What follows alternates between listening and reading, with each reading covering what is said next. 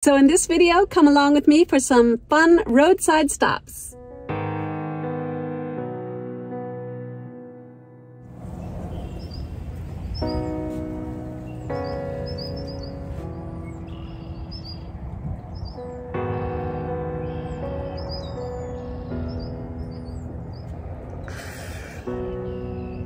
So I am at a rest stop on my way, but I have been getting comments, and so I thought that I would address them from last week's video about some of my gadgets.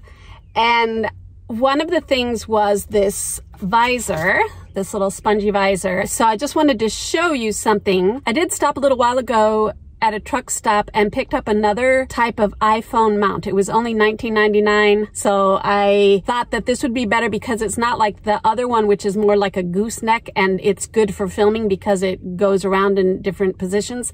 This one has a, a little bit of a thicker piece that looks like more of a rear view mirror. So I decided to do that. And it did help a little bit with some wiggly problems that I was having with that little visor, but I'll show you some of you had said that I should put it this way, which is great and it stays pretty well, especially now that I have this thicker piece that it stays onto. I think you can do it either way. This way, it's easier when you're driving to just slide it up like this and it stays pretty well. So I am not sure the instructions actually say to do it this way. I don't I think if you have a rear view mirror, it's in front like this. And so it's easier than to try to put it on like that. So it really works anywhere. This, it's just a piece of foam. So if you had a piece of foam and could cut it yourself, I would do that. But it's, it, I think it works either way. The instructions say the other way. I really don't know why. But for me, it'll work either way. Like that or like this. And it really just stays in place while you're driving. Then there's the issue of this visor. So the instructions for this one actually say when you have your visor up, it says to put it on the back. But I found that then you can't open your visor and you need your visor. So this way you actually use your visor and you put this mounted like this where the clip is here and these fold up into it. So it's in like that, right? But then what I, I, discovered is that you can have this one down and it's lower and you are blocking the sun. So you have all these things that are blocking the sun and it, it really works well. Then you can put this one back like that and this one down for when you need just this for the glare of the nighttime driving. So I hope that makes sense. I think you can do it either way, just depending on your visor setup.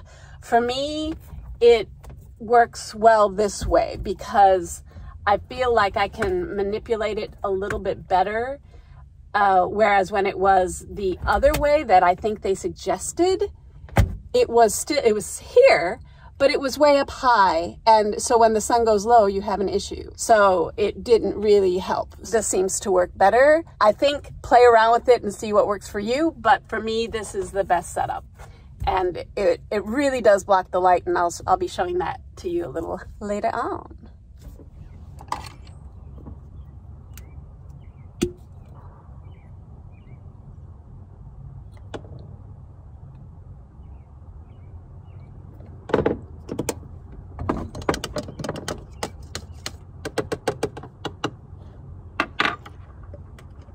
And I'm telling you guys, nothing beats having Javy for when I'm on the road like this because I don't have a mess. I literally just have to put my little stove thing away and I am done. When you're on the road like this, it actually saves you money because my temptation at a stop like this would be to just on somewhere down the road get a coffee at a truck stop or something like that. But this, I just can warm up water and I'm good. So I really have loved Javy for situations like this where I just want coffee and I want it quickly. This is a dream. Now I will hit the road and you come along with me.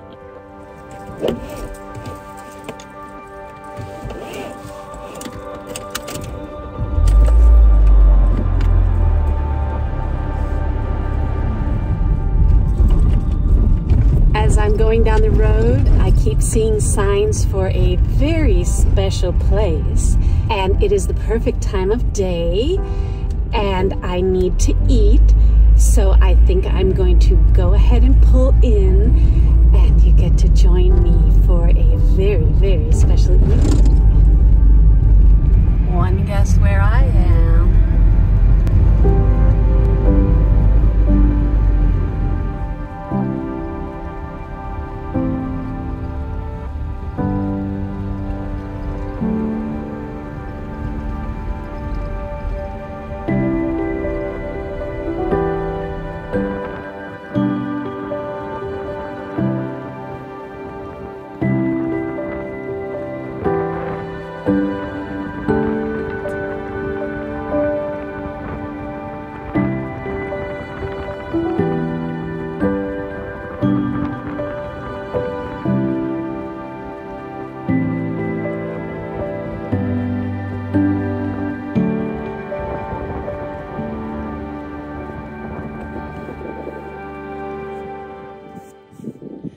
Some of you have asked me about my ladder and how I get onto the roof.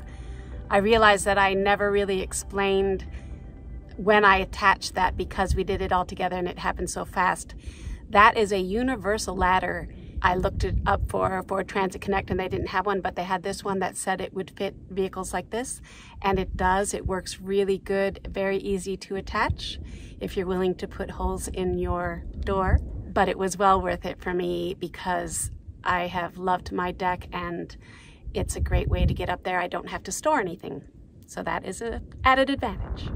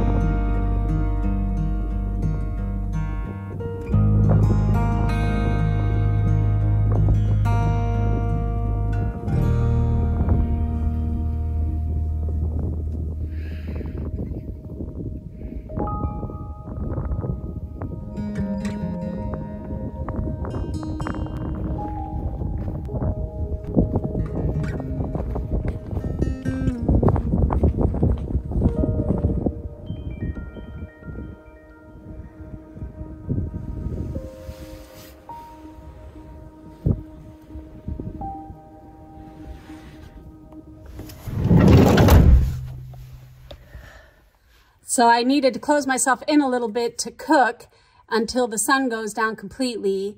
And I wanted to show you what I have. I'm basically making pizza, Organics brand pizza crust. So they're already made. They just need to be warmed up. Then the smallest pizza sauce that I could find was this Chipotle Peppers adobo sauce. So it's just tomato puree, onions, vinegar, canola oil, chipotle peppers, paprika, garlic, and salt. So maybe it'll taste weird, maybe it'll taste good.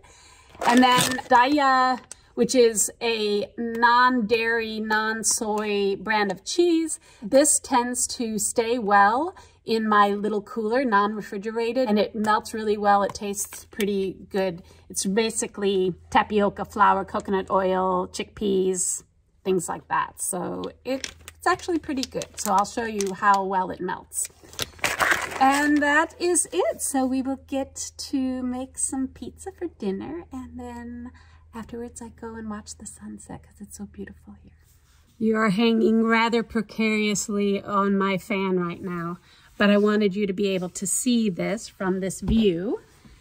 And basically, just put this here now, and then this on top of it, like that. Put my little piece out here. Okay, it's just a little spicy, but it should be quite good.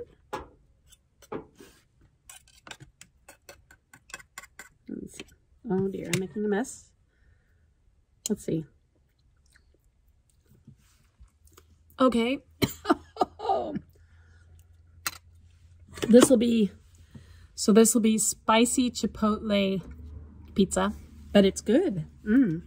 If anybody knows of some pizza sauce packets that don't have corn syrup in them or soy, I would love to know about that because the little packets instead of the cans will stay better and will be just one serving, which I like.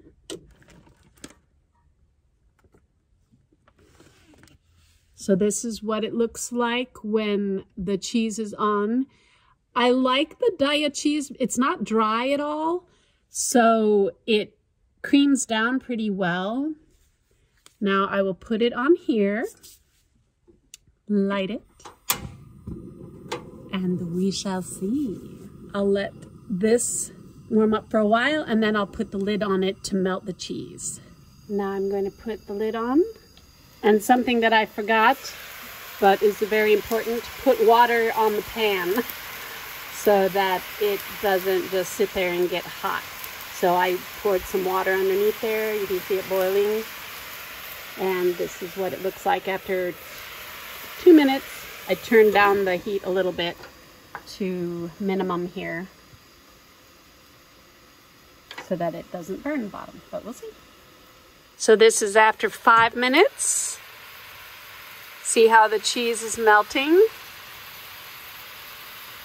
It's a it's great on the bottom. It's a little soggy, so I'm taking off the lid to see if it crisps up a little bit because it may be creating too much steam.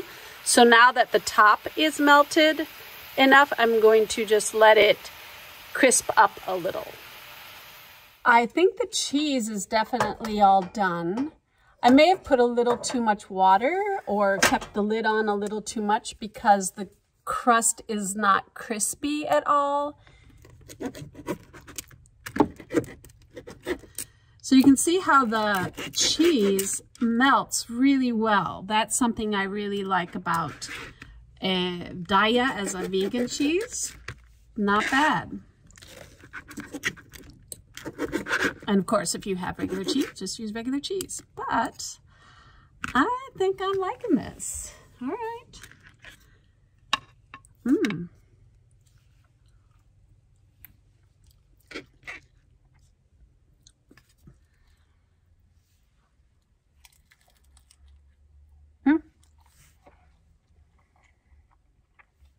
and it's got a little kick to it with the chipotle sauce.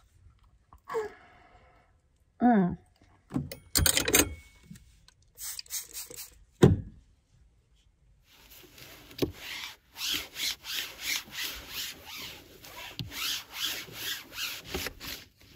And of course this, it just had oil and water in it.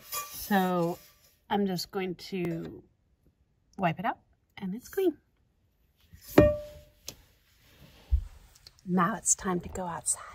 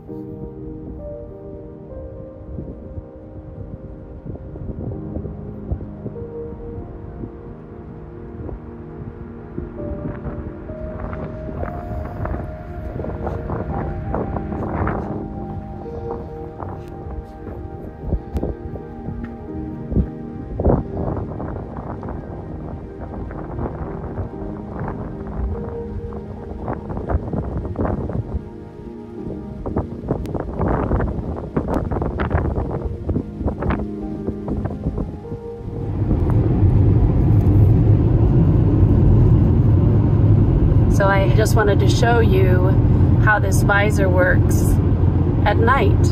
And I hope you can tell that those lights that were just coming straight at me were very yellowed out and it wasn't hard at all to have them face me. So that is really good. So I hope you enjoyed coming along with me for a ride and some fun roadside stops. As always, thanks for watching and I will see you in the next video.